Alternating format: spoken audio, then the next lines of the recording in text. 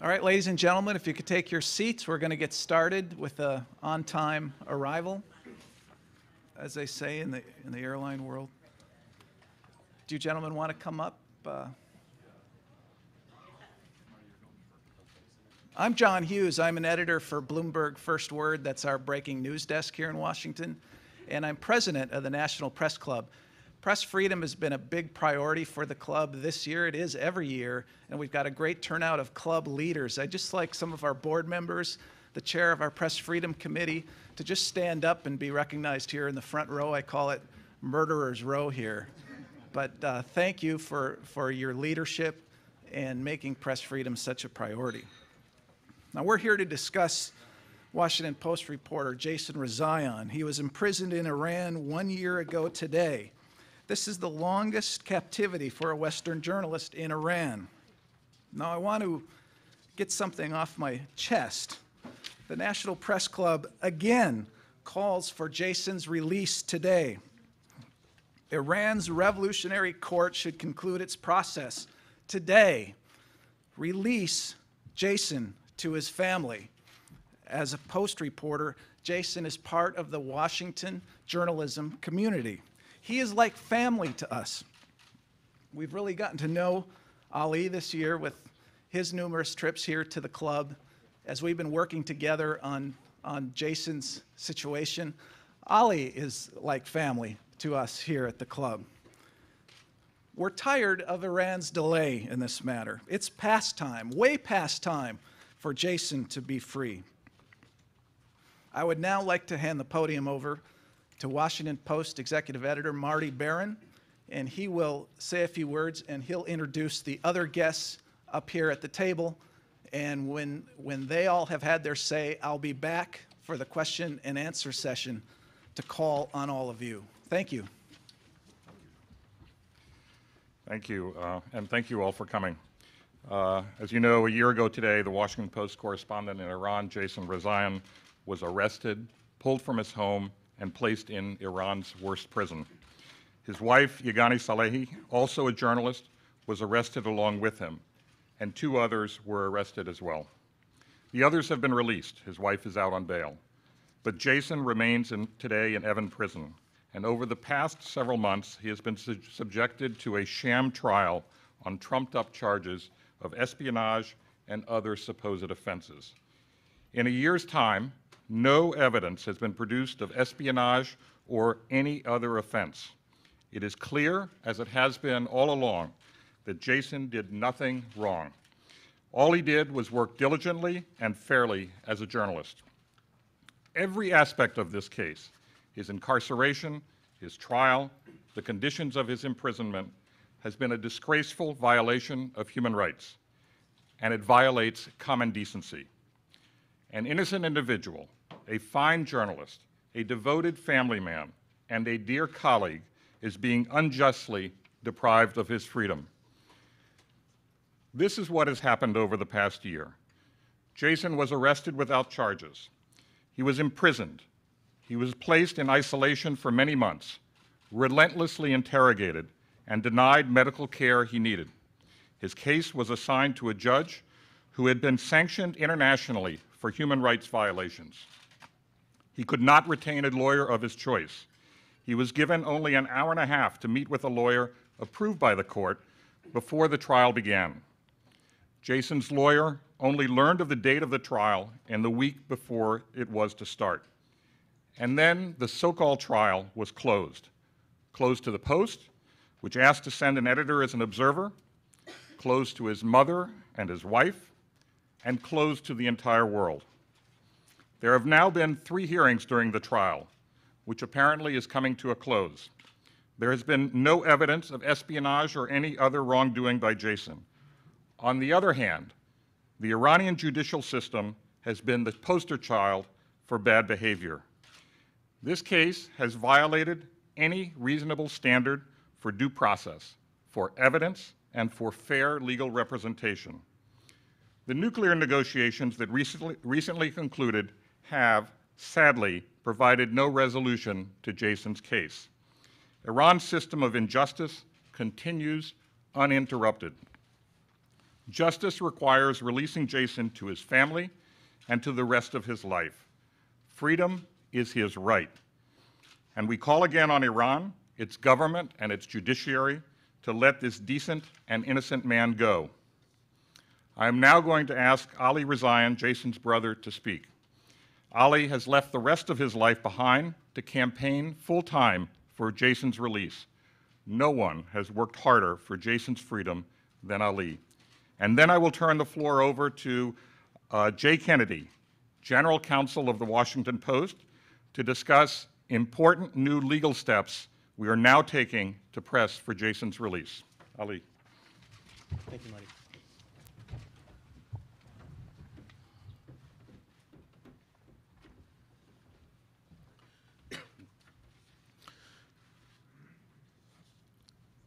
Let me try and get here. I'd like to thank you all today for attending this press conference to bring awareness to the one-year anniversary of my brother Jason's unrest, unjust detention in Iran. I'd first like to thank the National Press Club for making this event possible and for its tireless efforts on Jason's behalf. National Press Club President John Hughes and the Executive Director William McCarren have been tremendous resources to myself and a source of strength for me this past year. I'd also like to thank the many organizations that have worked to free Jason this past year, most especially Reporters Without Borders, Change.org, the White House Correspondents Association, and the Committee to Protect Journalists. Most importantly, I'd like to thank the Washington Post and its leadership who have worked tirelessly in the past year to gain Jason's freedom. It's now been 365 days since Jason and his wife Yeganeh were taken from their home in the middle of the night without any warning. Their computers, phones, cameras, and papers were confiscated. Since that night, Jason has been held in Evin Prison in Tehran. During this time, he's been subjected to months of interrogation, isolation, and threats. He's been deprived of basic medical attention, exacerbating minor medical issues, and risking permanent physical harm. Fortunately, Yeganeh was released on bail after 72 days, but had been pro prohibited from leaving the country and, or returning to work as a journalist. For five months after her release, she was prohibited from speaking to an attorney. Since the first day of his detention, the Iranian government has consistently denied Jason his rights under the Iranian constitution, Islamic law, and Iran's longstanding international obligations. They've held him on a temporary detention order for a year, ignored their laws guaranteeing him legal counsel and bail, and are now ignoring their law, which mandates bail for any individual held without conviction, conviction for over 360 days. For nearly five months, Jason was held in solitary confinement, and even now he is isolated from most human contact. He is frequently threatened with indefinite detention unless he conf confesses to crimes which he did not commit. For nearly nine months, Jason was prohibited from hiring an attorney to mount his defense. But even then, the Iranian government prohibited Jason from hiring several attorneys and through intimidation kept others from taking the case. Since engaging an attorney, Jason has had only two meetings with her to prepare his defense. When his trial began, 10 months after his detention, it was closed to outsiders so that not even his wife or our mother could attend its sessions to support Jason. As there is no allegation that Jason has had access to secret information, this can only be a sign of the weakness of the evidence against him, the baseless nature of the charges, and the Islamic Republic's desire to cover up this year-long injustice. This anniversary is all the more trying because of the agreement announced between the P5 plus one and Iran last week. For this past year, my family has watched these on again, off again negotiations drag on. We have awaited each deadline, hoping that they could provide an opportunity for the Iranians to end their illegal and inhumane detention of my brother. We have tracked Iran's laws on detention of prisoners and watched as Iran ignored their own laws and demonstrated that they are not a nation of laws, as they so disingenuously claim to be. We have hoped that the United States and other, US, and other governments could impress upon Iran the illegal, that illegally holding an innocent journalist within their court system would jeopardize the odds of success of a deal and would have consequences for their country. To date, that has not been the case. Instead, what we've seen is repeated extensions to these deadlines, arbitrary de- extensions of Jason's detention, and a secret trial, which started 10 months after Jason was imprisoned, has consisted of only three days of hearings, separated by weeks of unnecessary and arbitrary delays. Iran has made a mockery of its own legal system and proven that it has no interest in upholding its laws, let alone fulfilling its international commitments. But despite Iran's best efforts, their illegal detention of Jason has not gone unnoticed. Nearly half a million people from over 140 countries have signed the petition at change.org slash freejason, calling, on calling for Jason's immediate and unconditional release. Respected journalists and news organizations from around the world have called on Iran to release Jason. And in just the days since the announcement of the nuclear agreement, the, the major U.S. news organizations' editorial boards, the President and Secretary Ker- Kerry, as well as several presidential candidates, including Secretary Clinton and Senator Rubio, have called on Iran to release Jason and the other detained Americans. Please make no mistake, this is not a partisan issue. I am proud to remind you that both the House and the Senate unanimously approved resolutions calling for our executive branch to prioritize the release of Jason and the other Americans being held and missing in Iran. But in the days since those resolutions passed, little has changed for Jason. We now have a nuclear agreement with Iran which removes the country from economic sanctions. This agreement was approved by the UN Security Council with little opportunity for review less than a week after it was announced. Yet Jason remains in prison after 365 days, held on clearly manufactured charges by parts of the Iranian government that are uninfluenced by Iran's president and hold the rule of law in contempt. Jason has no clarity on the, on the future of his trial and little hope that the Iranian government feels any additional pressure to do the right thing, the just thing, and release him and clear his name. In closing, I'd like to thank the many individuals around the world who have worked so hard on Jason's behalf this past year. Friends and colleagues who know Jason and know the absurdity of these charges, journalists and human rights advocates who have only read Jason's fair reporting in Iran and its culture and are equally shocked by Iran's treatment of this fair minded journalist who gave it a voice to the outside world. Good people from around the, from all corners of the world who see this case as the gross injustice that it is, and who have called on their governments to support our efforts, prayed for Jason's release in their mosques, churches, and homes, and lent their voice online for, to the call for Jason's release. I'd like to thank each of you for your support. But as I've said before, until Jason is home, none of us have done enough. Not our government, not and politicians, not the media, and not myself. Please take a moment to sign. Please take a moment to sign the petition at change.org slash freejason, calling for Jason's release. Visit our website at freejason.net and join us in calling for his release on Twitter at hashtag freejason. Thank you, and I look forward to your questions.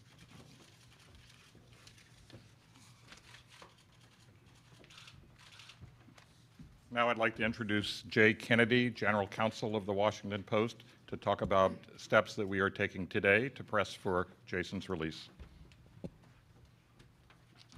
Thank you, Marty, and thank you, Ali, and thanks everyone for being here. You know, as Marty and Ali have made clear, our goal at the Post since Jason was first detained last summer has been to do everything we can to secure his immediate release.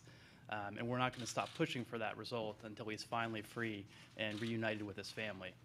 Um, unfortunately, his detention has continued, even though Jason is completely innocent of any crime and has done nothing to warrant this prolonged detention and separation um, from Ali and the rest of his family. You know, both Marty and Ali have described the horrible circumstances of Jason's arrest, detention, and trial, um, and the impact that this has had on both Jason um, and the family. Um, what this has shown to us is that throughout this process, Iran's conduct towards Jason has repeatedly violated his fundamental human rights. So as we continue our efforts to press for his release, we're now doing so in a new forum.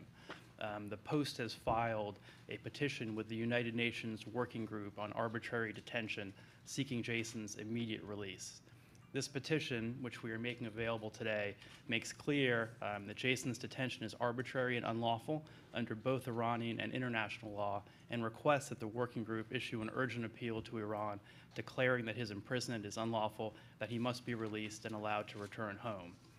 Um, we believe Iran has violated international law by depriving Jason of his internationally recognized human rights. It's put forth no evidence whatsoever corroborating the charges of espionage and collaborating with foreign governments.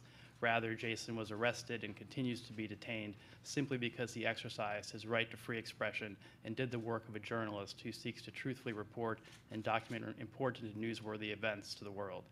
In addition, since the date of his arrest, and as Marty and Ali have described, Jason has plainly been deprived of his right to due process.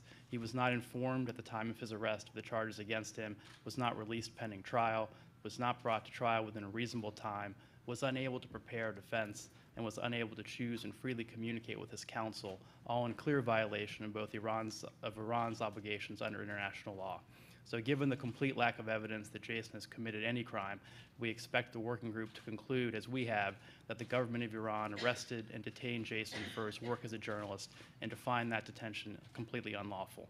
And we do hope that this petition and such a finding by the UN will speed Jason's release, which has taken far too long. So I now want to introduce David Bowker of WilmerHale, who along with his colleagues at the firm have worked tirelessly with us to make this petition happen and to help us in our efforts to bring Jason home. They have been extraordinary partners to us and Ali in this effort, and David will provide more specific detail on the post filing.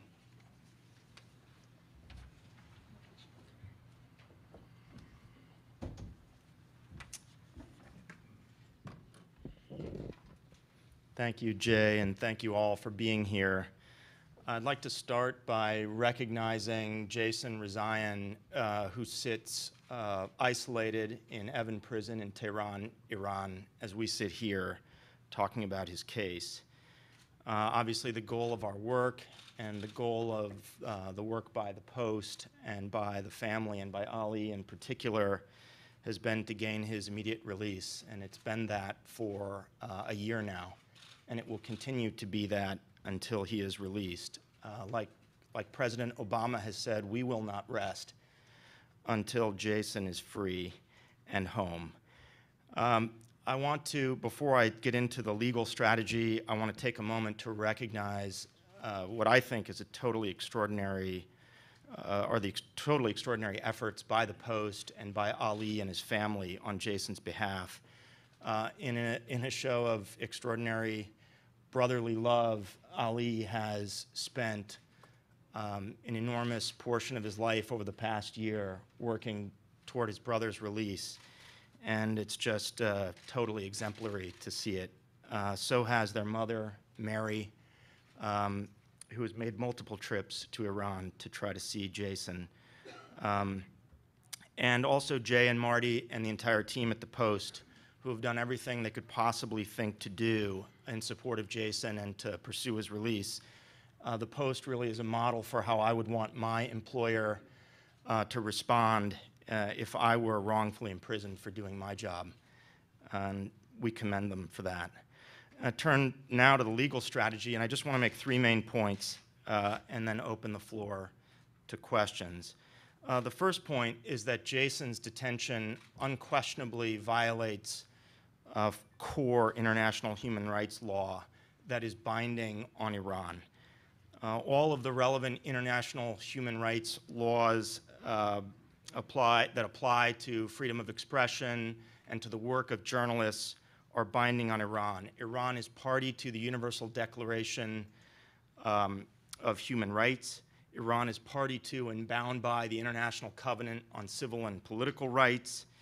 Iran, like all states, is bound by customary international law, which reflects these international instruments and the core rights and freedoms they enshrine. And Iran is obligated, under both its domestic law and under international law, to comply with these international laws. And Iran has even publicly conceded as much, stating publicly in multiple contexts, including before the UN, that it is indeed bound by these international instruments and these international laws.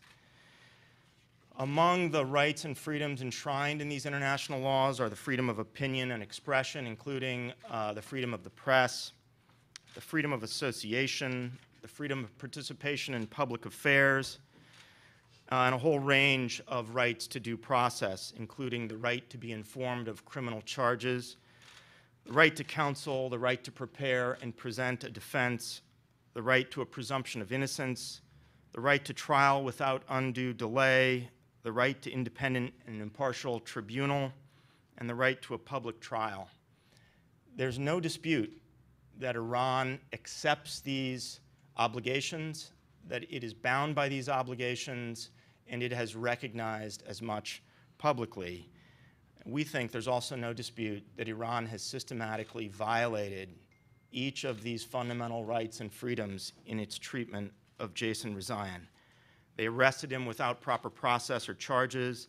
They placed him in solitary confinement, interrogated him harshly for days and weeks on end, subjected him to severe physical and psychological strain, denied him the most basic medical care for prolonged periods, detained him for months without formal charges, without access to counsel, without human contact, and without due process of law.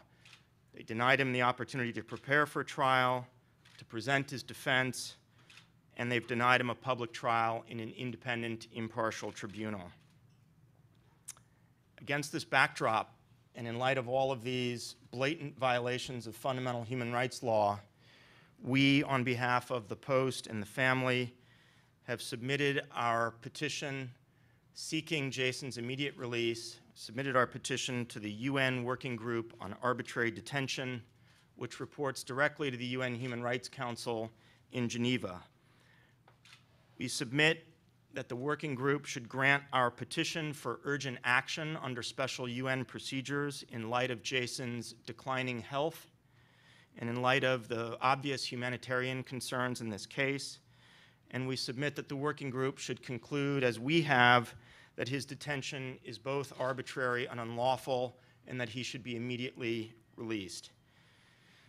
Uh, um, a few words about the working group. Uh, they were established by the UN Human Rights Commission uh, to investigate and adjudicate individual cases of precisely this kind. It's, it's the only uh, non-treaty based international mechanism that can entertain individual complaints against states parties such as Iran.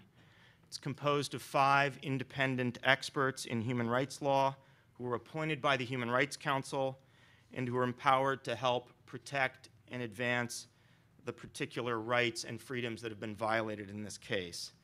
It has the authority to issue formal opinions and to make recommendations, and uh, to ask that the individual in question, in question be released, compensated, and that other remedies be applied. It has an urgent action procedure, as I mentioned, which is obviously applicable and called for in this case, where Jason Rezaian has languished in isolation uh, under harsh conditions, where his health has deteriorated. He's lost 50 pounds. He's under severe physical and psychological strain, and there are obvious humanitarian reasons for the working group to treat this petition urgently and to make its recommendations as quickly as possible. Uh, the third point I want to make is that we ask Iran, respectfully ask Iran to respond promptly to our petition and to agree to adhere to the recommendations and the opinion of the working group and to grant Jason's release. We hope that Iran won't wait for an opinion of the working group and that they will immediately grant his release. There have been humanitarian reasons and legal reasons to grant his release for a year now, and we hope Iran will act on its obligations and release him. And with that, um, that concludes my prepared remarks. And I'd like to open it now, open the floor now to questions. I'll turn it over to Mr. Hughes. Thank you. Thank you. I believe we have microphones in the room, and we're, we're going to get to these questions now. Moderator's uh, privilege to ask the first question, however, and that is why are you pulling this lever now with the UN petition? Why now and not, say, six months ago? And uh, how many of these petitions are accepted, acted on uh, by this group? So, what, what are your chances of success, do you estimate? I think for the first part, I mean, we never expected the detention would, would last this long. When Jason was first detained last July, I don't think any of us believed that we'd be here a year later. Um, I think initially we hoped that the fact that we knew he had done nothing wrong, and that he had done nothing wrong would lead to his release. Um, and then we hoped the continuing discussions between the United States government and Iranian officials alongside the nuclear talks would produce positive results. Um, and so far, they haven't. And so that's why we believe that now the time is right to bring forward this sort of very public case against Iran and to make clear that Iran uh, knows that the Post and you know, Jason and his family you know, believe that the, his detention is unlawful and illegal and is not in any way based on, you know, it plainly violates international law. So that's why we're doing it now. And I think David can answer um, the second part of the question. On the second part of the question, the working group handles hundreds of cases every year. They are um, experts, they're experienced, and are uh, the perfect tribunal to handle a case such as this one. Uh, Iran does participate in this process. Iran has stated publicly uh, that it recognizes the role and legitimacy of the working group. Iran has faced uh, more than 25 petitions in the last roughly 10 years and has participated, meaning responded in writing to petitions in roughly a third of those cases. We uh, hope and expect Iran to respond in this very important case. We hope and expect that they'll do so promptly and that they'll adhere to the recommendation and opinion of the working group. Okay, I saw a hand go up over here. And if you could identify yourself, your name, and your organization. Elise Labott with CNN. Thank you for doing this and, and hope this um, helps bring Jason home soon.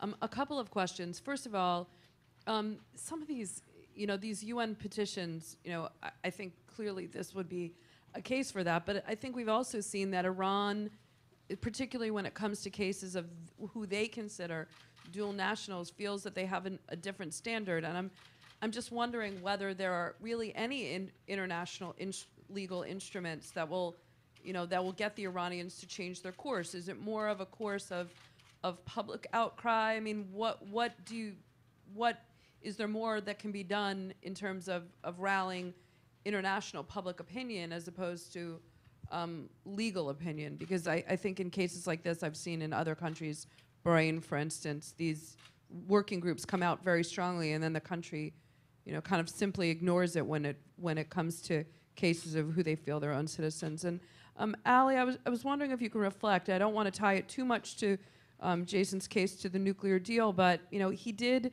and, and also for Marty, he he reported so eloquently on the Iranian people.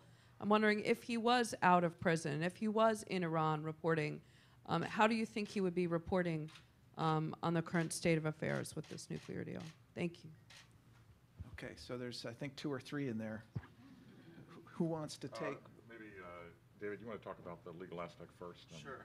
Uh, On the first part of the question, I think it's very important to note that this is not uh, the only lever that the Post and the family um, are using at, at the moment. The Post and the family are doing absolutely everything possible through every conceivable channel to try to bring about his release. And so we agree with you entirely that it's not um, wise or prudent to focus on any one particular strategy, but rather to, to pursue uh, a multi-pronged approach to the case, and that we are doing, and the Post and the family are doing. Uh, Nonetheless, with respect to the legal aspect of this, uh, we take Iran at its word that it is a, a country of law, that it respects the rule of law, and that it has taken this process seriously. And if they are serious about what they have said, about the working group and about the importance of its work and the importance of international human rights, and if Iran is serious about its international law obligations, then this is the perfect opportunity to demonstrate that by its uh, compliance with the procedures of the working group and by its immediate release of Jason. Uh, Okay, I'll start with uh, that. I think the answer to your question is pretty simple. I think Jason will be reporting fairly uh, on the current uh, negotiations and the deal. Uh, And I think he would bring a different uh, perspective to it than most people do. I had the opportunity to meet with a lot of the journalists who are covering the, the- the the negotiations and the deal. But given his extensive experience in Iran, the people that he knows across all socioeconomic uh, borders there. Uh, I think he would bring a much more uh, diverse uh, and um, uh, fuller uh, set of information and reporting uh, to what's going on and how it's affecting people in Iran uh, in, in various ways. Okay, there in the back. Bruce Leshan from WUSA 9 here in town. Ali, were you disappointed uh, that Jason's case was not one of the negotiating points in the nuclear talks? And are you satisfied uh, by the explanation that has been offered uh, by Secretary Kerry uh, as to why he wasn't? Well, it's always been our, our um, belief that tying Jason to the talks uh, could be problematic. Uh, we've always wanted Jason's case to stand uh, as it on its own uh, because he's innocent. There's no proof that he's done anything wrong. Um, was I disappointed that he wasn't released at that time? Of course. I wake up every day disappointed that Jason is still in, in prison and that we're still working on this. Uh, but I think that at this point, given that the, the uh, bulk of the negotiations are done, this will give us another opportunity uh, for Iran to do the right thing, for the U.S. government to continue talking with them, uh, and uh, letting them know that uh, Jason and the others need to come home immediately. Okay, go ahead, sir. Yeah, Oren Dorell with uh, USA Today. Um, You you mentioned, uh, Oren Dorell with USA Today. Uh, You mentioned uh, Iran's international obligations, and obviously that brings to mind the, the nuclear talks. And I'm, you know, wondering, these, the- Iran is a, Iran's government is, um, has factions in it, and, you know, what we've heard is that the people who control the nuclear facilities are also some of the, the same uh, factions that also probably control the prisons and, and, and Jason's uh, detention. And uh, would like you to, to hear a little bit about how you're seeing um, Jason's detention in the greater context of the nuclear talks of, and, and, and, you know, what, what can be expected in terms of, uh, of uh, compliance. And, uh, and also, uh, with regards to timing, uh, we have different um, uh, timing points in this, in this, in the unfolding of the, of the diplomacy over this nuclear deal. And I'm wondering if you're thinking that, um, that Jason's uh, detention will be tied to maybe some, maybe the, you know, they have the implementation day and the acceptance day and all these different days sort of um, described in the, in the deal. And I'm wondering whether you're, uh, whether you're thinking that his, uh, his detention will be tied to any of those dates. Uh, Well, I'll try this. Um, I mean, I, we, we can't possibly speculate on uh, when he might be released. We feel that he should have been released a long time ago. Uh, Whether a release might be tied to any particular upcoming date uh, connected with uh, the nuclear deal, uh, we have no idea. Uh, So, you know, this is something that should have happened a long time ago. It should happen today. It should happen for its own reasons. And, um, and, and it, it shouldn't even, it shouldn't, it, sh- it it should be done because he's innocent. And so we, we can't speculate on what, what might happen when. Anybody else on that before? The, the one additional point I would make is that to the extent um, any factions within Iran are using Jason's case uh, as a political lever or uh, as any kind of leverage, it would be entirely improper as a matter of law. Jason is an individual with uh, legal rights and, and freedoms under international law to which Iran is obligated. And obviously, any use of him or his uh, detention or prosecution as a political lever or any other kind of lever would be improper under international law and would be grounds for a finding by the working group that his detention is arbitrary and unlawful, uh, and therefore that his immediate release uh, is required. Okay, go ahead. Thank you. Uh, Andrew Siddons with the New York Times. Um, during the talks, did the U.S. government tell you that they thought they might be a vehicle for potentially bringing Jason home? Um, and did they ask you to hold off on um, filling this, filing this petition until the talks had concluded? Um, and secondly, has the Post had any direct contact with anybody in the Iranian government? Uh, and if so, uh, who? Thank you. Uh, Well, the administration uh, never said that this would be part of a deal. They said that it was operating on a separate track, that they were having discussions with the Iranians alongside the nuclear talks, but not tied to the nuclear talks. So uh, we were ma- never made any commitments uh, in in that regard. Nonetheless, of course, we hoped that uh, perhaps those two talks might conclude at the same time, and that uh, Jason would be released uh, when a nuclear deal was uh, was reached. Uh, But of course, that has that has not happened. Uh, Let's see, what was your next question? I'm sorry. Did they ask you to uh, hold off on filing? They did not. We, you know, we, we, we're taking this action independently. Uh, We've informed them that we're taking this action, uh, but uh, we took this action on our own accord, and they uh, had no part in, in the discussions about whether we should do this or not do this. And you had one more, sorry. Yeah, had you been in any direct contact with uh, any member of the Iranian government? Well, we've made our, we've made our views known. We actually, uh, uh, I was, I was uh, at the meeting with, uh, with uh, Rouhani and Zarif when they went to the UN uh, last, uh, whenever it was, a year, almost a year ago. And uh, I was there and I confronted them with my own questions and other reporters confronted them with questions about Jason's uh, detention uh, and his condition. Uh, So that was that was a, a, um, uh, an encounter.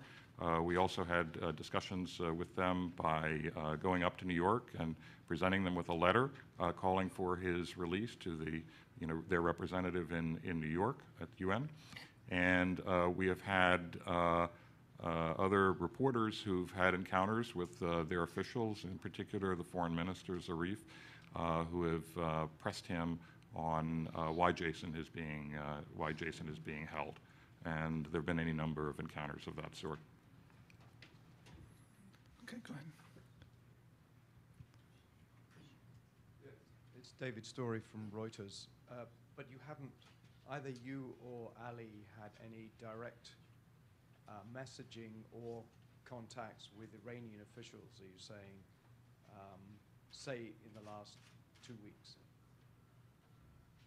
Not that I'm aware of.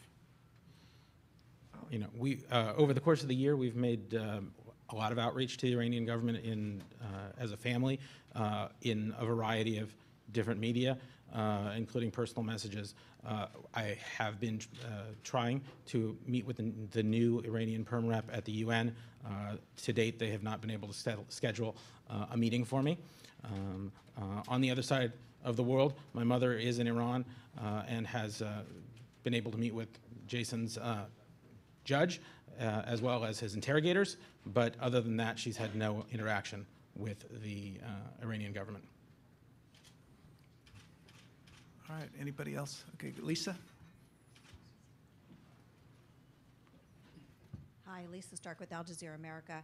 Do you all have any idea if Jason is aware of all the efforts being made on his behalf, what he knows about these efforts to try to get him released?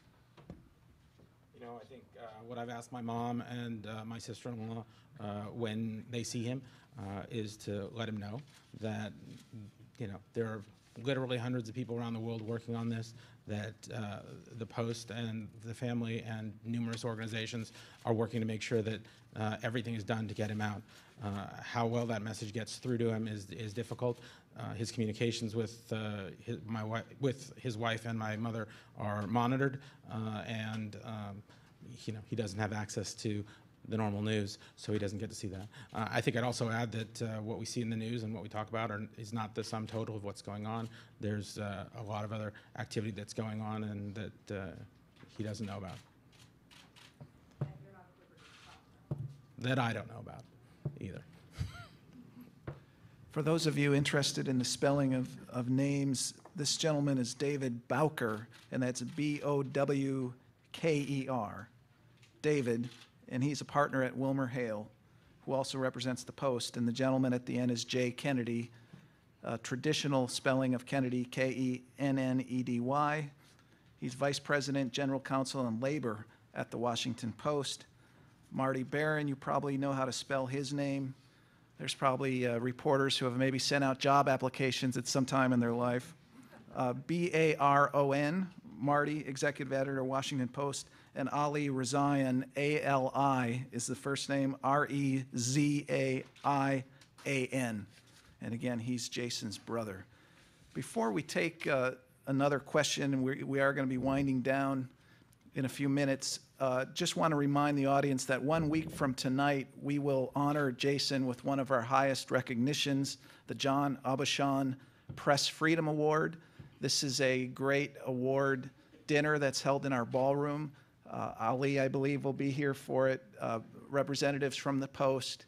Uh, and this is one of the great journalism award events. We've all been to a lot of award dinners. This one's very special. It, it's really a uh, great tribute to fantastic journalism and a focus on journalism without a lot of uh, other glitz. So you'll enjoy it uh, one week from tonight. I also want to tell you that the Post has a short video about Jason's case that will be playing over in our Zenger room, and that's kind of across the way on this floor and down the hall. And uh, that's going to be uh, shown a few minutes after this event breaks up. And we have a sheet out in front that shows you how to get that video if you'd like to acquire it and use it on the air or on your website. And that information is on the desk right outside this room. So uh, we can take a couple more questions if, if we have them out, out here. Okay, go ahead, sir. Gero Schlies with uh, Deutsche Welle, DW. Let's get back to uh, the nuclear deal and the negotiations. Um, did you have a feeling that uh, the Obama administration was hindered by the negotiations on the nuclear deal, hindered to do more for Jason? And do you think, are, are you expecting that they have more leverage now and uh, are you expecting more action of the Obama administration to advocate this case? Well, I'm very happy that uh, the Obama administration and other parts of the U.S. government have been speaking actively in the last week or 10 days about Jason uh, and his release. Um, I've always said that I think the nuclear negotiations complicated the situation uh, for folks on both sides, both in Iran and in the United States. Now that those negotiations are over, I think uh, so are those excuses. And uh, our sincere hope is that folks in Iran will, will take a look at the evidence, uh, conclude that there's no reason that, that, Jason should be detained for another day uh, and have him released. Uh, over here, clearly there's uh, uh, more emphasis on this uh, situation, on Jason's situation now. we're happy about that, and we continue to try and make sure that everybody in our government knows that this needs to be re resolved as quickly as possible, and that the Iranians realize that there is a cost to them for holding Jason illegally for the past year. Over here, CNN.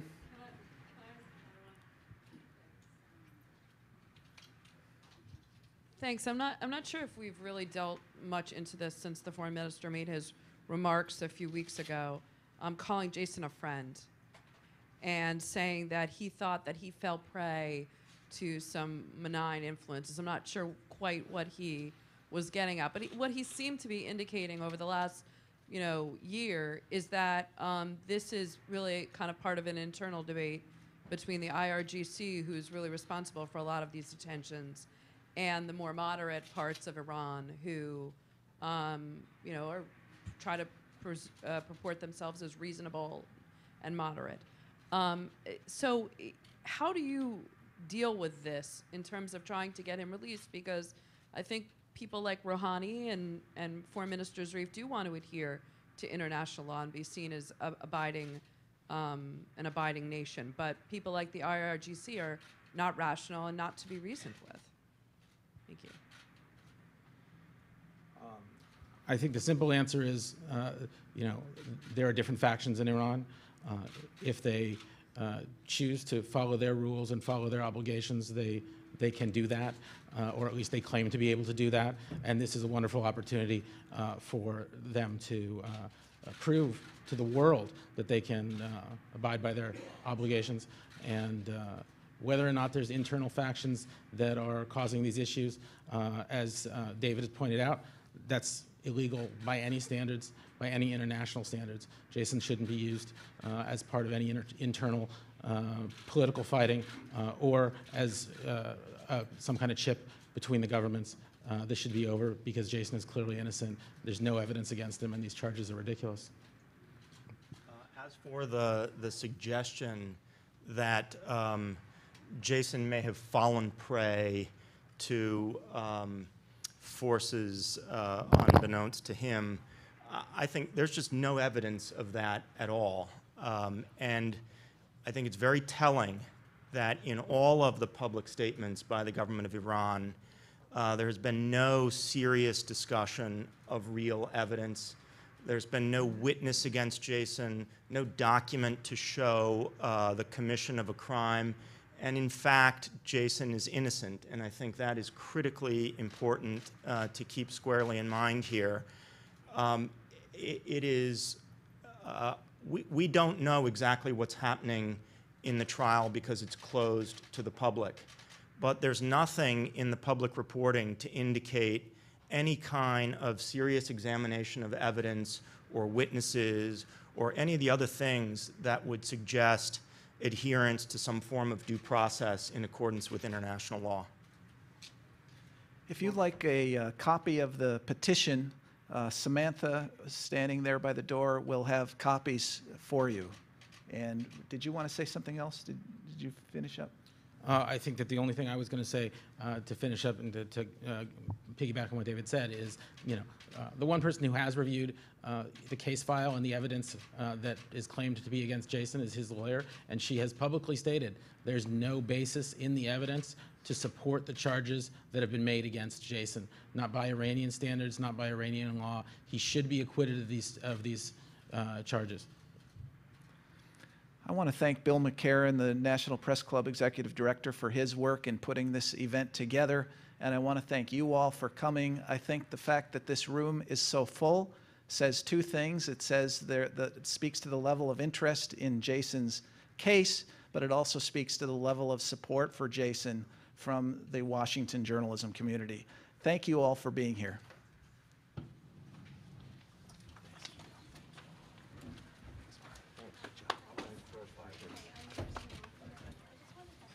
Thanks so much, David. Good job. Thank you so much.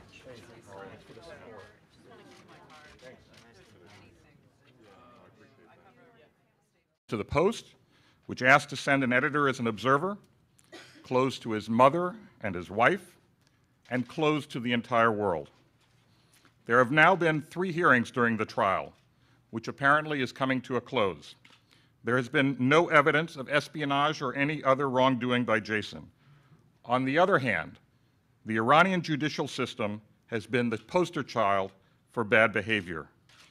This case has violated any reasonable standard for due process, for evidence, and for fair legal representation.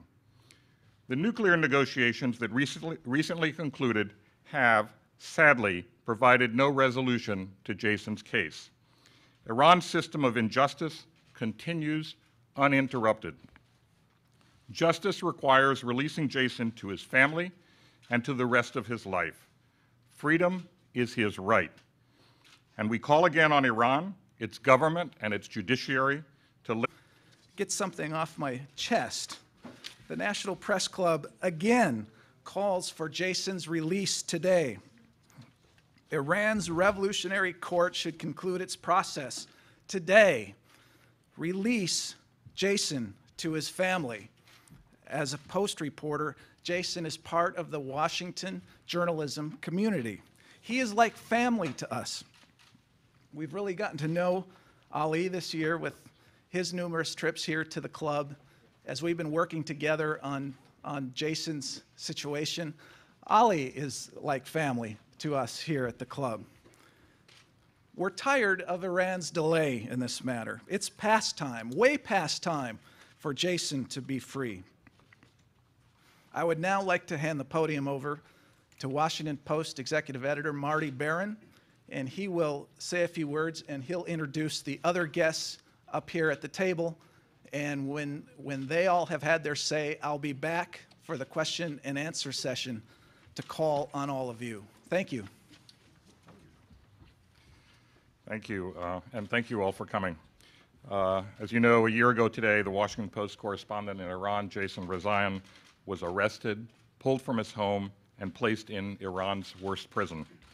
His wife, Yeganeh Salehi, also a journalist, was arrested along with him, and two others were arrested as well. The others have been released. His wife is out on bail. But Jason remains in, today in Evin Prison, and over the past several months, he has been sub- subjected to a sham trial on trumped up charges of espionage and other supposed offenses. In a year's time, no evidence has been produced of espionage or any other offense. It is clear, as it has been all along, that Jason did nothing wrong. All he did was work diligently and fairly as a journalist. Every aspect of this case All right, ladies and gentlemen, if you could take your seats, we're going to get started with the on-time arrival, as they say in the, in the airline world. Do you gentlemen want to come up? Uh, I'm John Hughes. I'm an editor for Bloomberg First Word. That's our breaking news desk here in Washington. And I'm president of the National Press Club. Press freedom has been a big priority for the club this year. It is every year. And we've got a great turnout of club leaders. I just like some of our board members, the chair of our Press Freedom Committee, to just stand up and be recognized here in the front row. I call it Murderer's Row here. But uh, thank you for, for your leadership and making press freedom such a priority.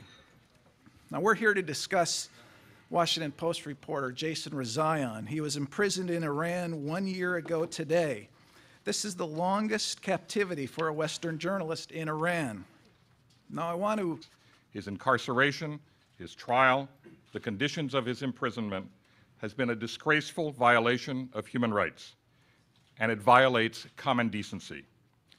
An innocent individual, a fine journalist, a devoted family man, and a dear colleague is being unjustly deprived of his freedom.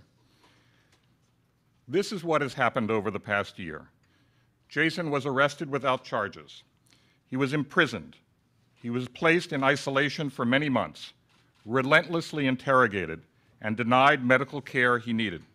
His case was assigned to a judge who had been sanctioned internationally for human rights violations. He could not retain a lawyer of his choice. He was given only an hour and a half to meet with a lawyer approved by the court before the trial began. Jason's lawyer only learned of the date of the trial in the week before it was to start. And then the so called trial was closed, closed